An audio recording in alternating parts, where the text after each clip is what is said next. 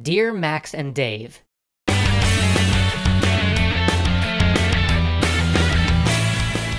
I remember one year coming home for the holidays. It was bitter cold. The days were dark. My folks picked me up at the airport. I had almost everything I owned in a bag on my back.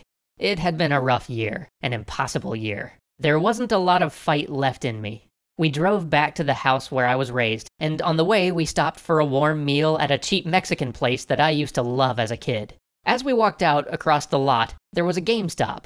I wasn't feeling much like games, I wasn't feeling much like anything, but my mom told me to go in. She could see that I was down, and she knew how much that I used to like just looking at all the boxes in the game stores. So I went in, figuring that I would look around for a minute and then go. Heck, it was better than nothing, right?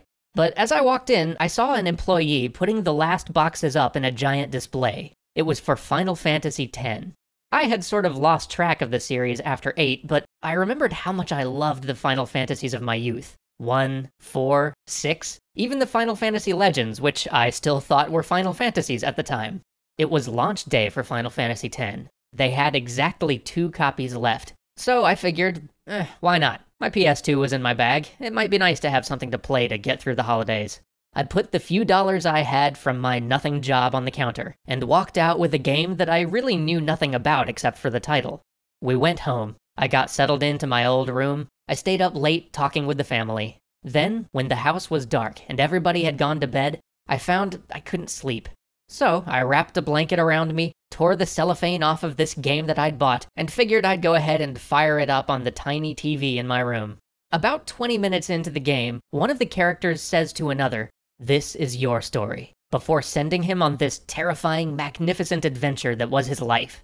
And that phrase just kept rattling through my head. Because it was true. This was my story. I felt useless and powerless and beaten down, but this was my story. The world was too heavy and I felt too small, but this was my story. Things were outside of my control. I felt like there was nothing I could do, but this was my story, and I was gonna write it my way. This was the lesson games taught me.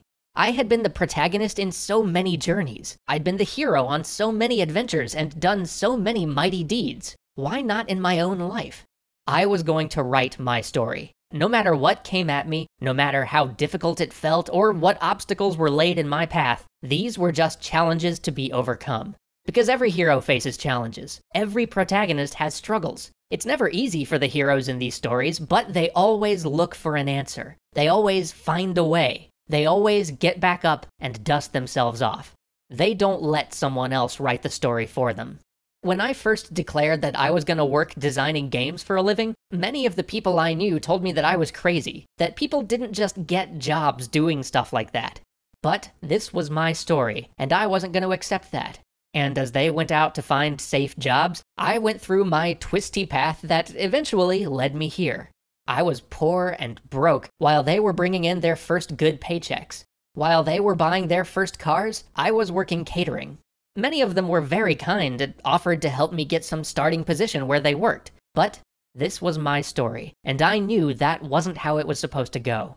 When I first seriously applied to be a game designer, everybody told me that job didn't exist as an entry level position. And at the time, it didn't. They all told me that I had to start in QA, but I knew that that wasn't my story. So I sent out 120 resumes, and I got 12 yeses. Of those, the one I really desired wanted me to start right away. I had enough money for a one way ticket or enough money to make rent that month. I bought the ticket, the office had a shower. All my worldly possessions fit in two suitcases under my desk. For my first two weeks on the job, I was the first one to work in the morning and the last one out of the office, because I was sleeping on the beach. That was my story. Max, Dave, we weren't born rich. We weren't born with a golden ticket. People are gonna break your heart, people are gonna disappoint you. Sometimes it's gonna seem like it's just easier for everybody else than it is for you. But this is your story. It can be anything you want it to be.